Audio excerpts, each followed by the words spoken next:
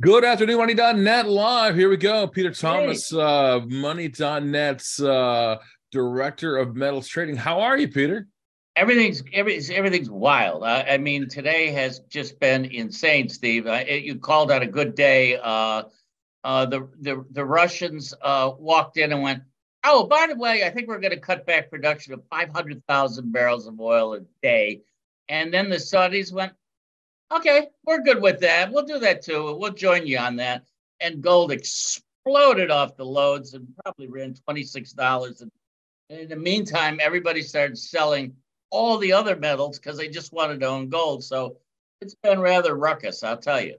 Yeah, and you have to ask the question: What's going on with silver as well? As it seems to be that uh, both those are okay, though, right?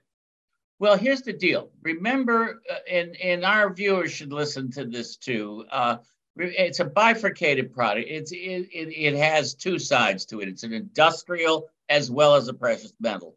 And if people feel the price of oil is going to go up, it's going to slow up or raise the cost of producing things. So therefore, less silver is consumed. So um, it's putting a little pressure on the silver. And as mm-hmm. you look across the board, as I always do, lead, zinc, copper, everything's getting hit because they're concerned about what's going on. Yeah, you know what's interesting to me is that you saw over the weekend the BRICS, the uh, Russia, India, yes. China, all talking about having their own coinage slash way of paying for things. Yes. Um, is that going to affect the way that we pay for gold here? That has been going on for about two years, Steve. Um, conservatively, the technology isn't quite there yet. Okay. Uh, but I will share with you that we are seeing a lot of gold going uh, back into China all of a sudden, which was mm. coming out, if you remember. Right. So uh, are are they stockpiling to pay? I would guess yes. I would say you're probably right, but all the press right now is saying no. I just usually see this stuff six months, a year ahead of time. So right now they're all going to say no. I'm saying it has a real good chance of happening. Yeah, and you know when you go to websites uh, like yourself and you look to see to buy gold and buy silver, you know I'm always confused as to what I should be buying. Should I be buying liberties? Oh. Should I be buying bullion? What should I be buying right now? Well, the, the how and what to buy. The first thing is let's get a let's let's help our viewers. As you and I have discussed before, we want to make this as educational as we can, as well as newsworthy sure. too. And the thing is, there's two ways to look at this. First off, twice a day, everyone, uh, five banks and the LME, the London Metals Exchange, get together and they set what's called the fix. And the fix is exactly what the price is worth twice a day by this group. And they post it. So you know at a given time what the international worth of gold is. So don't ever be mesmerized by someone trying to sell you some gold underneath the fix, unless, this is the important part, the spot price, which is where it is currently trading at now. Now, the fix comes out in the morning, and the morning fix market might have traded right past it, could be higher, could be lower. So we have two prices that we look at. We look at the fix, so we kind of know where we're at, and then we look at the spot. So now we know what we should be paying. Now, what should we be looking at? Um, should we be looking at um, gold coins, or should we be looking at bars, Steve? Those, that's mm-hmm. a very big question. And uh, there's a lot of things that go into the manufacture of coins. And I'm actually going to take a second to explain that because it's important. It's called the premium. You make a coin. What does it cost to make that coin? And that premium is then passed along to our buyer. And I hope I'm not going to eat up our clock, but I no, want people fine. to know that you have a manufacturing cost. That's you have a fabrication cost, which is what you do when you stamp a coin. Those of you who follow me and know the various coins I made, for example, when I made the SpongeBob line, and we had the four coins in the treasure chest and we went through all of that. The fabrication on that cost a lot. We had a lot of trademarks a lot of things to do. So fabrication is your second cost.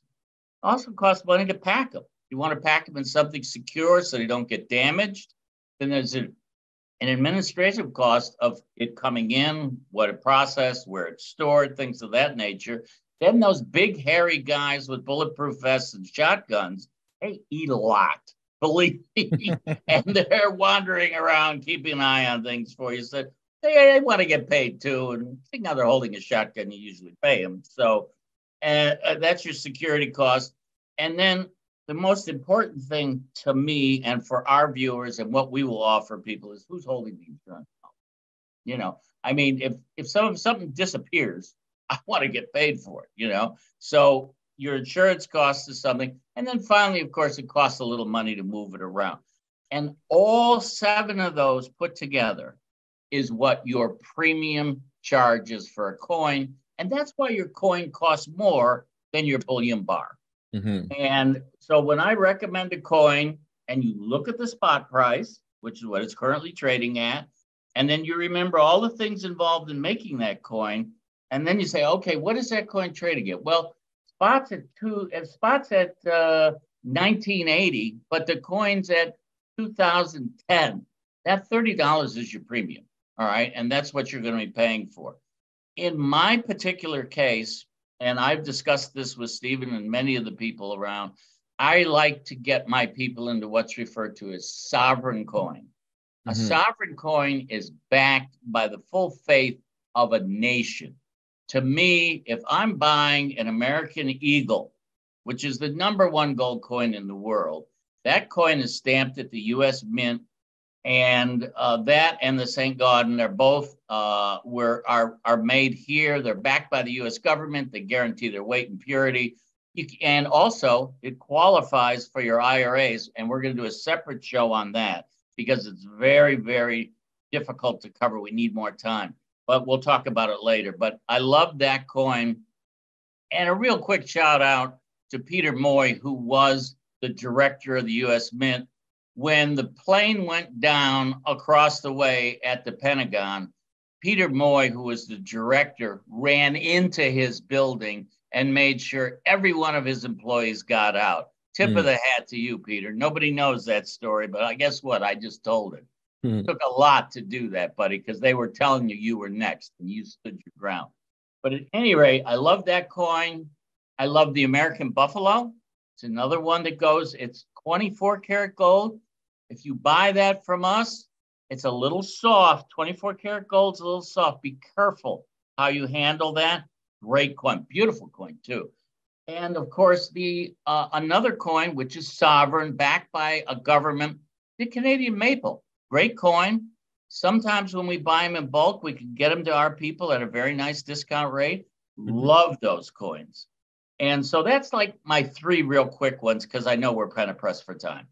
Yeah, I mean, you know, for me, uh, when I was buying silver from you guys, uh, you know, you were pretty quick to get turned around. Uh, I think it was less than a few days. So yeah, I, was, I think we got you your coins in three days. Yeah. yeah. You know, and for me, when I'm looking at it now, of course, I'm I'm a I guess I'm a what they call a stacker now, right? Yes, you are. but you know, one of the things I'm always asking about the bullion side of things uh-huh. is who makes the best bar? I mean, when you look at the stamp, I ah. see uh or I see Asahi, yeah. uh, and I see all of the SilverTowne. Let me, uh, Johnson, uh, Matthey, Matthey, uh, Asahi, good firm. I I know the director over there. She's a great gal, smart. Um, there's a there's a there's a a lot of people that make a good bar, but here's where I step in. All right. I have a responsibility to the money.net people, to all of the people that are directed to us from various firms.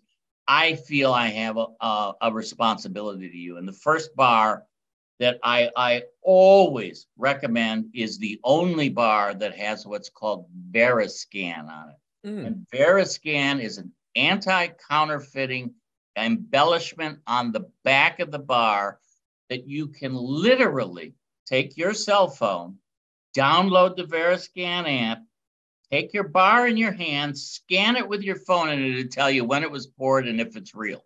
It's wow. the only one that can do that. Now, I did a half hour special show, which I'm going to send to Steve to attach to this and it was done with Scott Spitzer, probably one of the most knowledgeable people in the metals business in the world. uh, CEO of PAMP MTB, great guy, really, really sharp. He brought that onto the scene. I always recommend my people get something that they can verify is real. And that's why we, we use that bar. And uh, if you want to see it, uh, I'm sure that uh, Steve, you'll be able to attach that. And do you think we'll soon see blockchain within the uh, the markets of the of the gold?